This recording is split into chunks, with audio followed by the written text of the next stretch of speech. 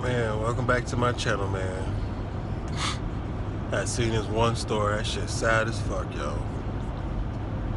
Like, when you think of people going to a corn maze, you thinking like, oh, we about to go to a haunted house type shit, you know what I'm saying?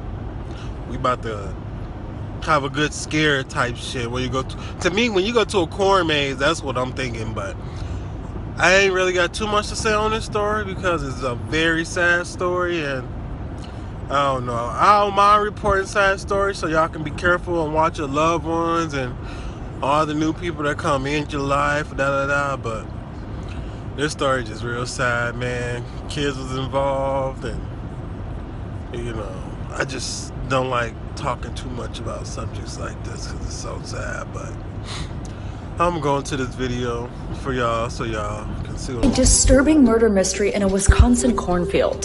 That's where four people were found dead in an abandoned SUV. Authorities say they were all from Minnesota. The county sheriff's office says two men and two women, ranging from ages 26 to 35, all died from gunshot wounds.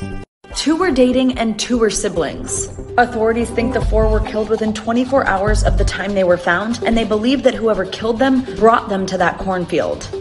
My daughter was a loving, uh, caring mother, uh, exceptional daughter. So I'm still just not really understanding that someone uh, would do this. Police just made an arrest. Exactly why this happened is still unknown.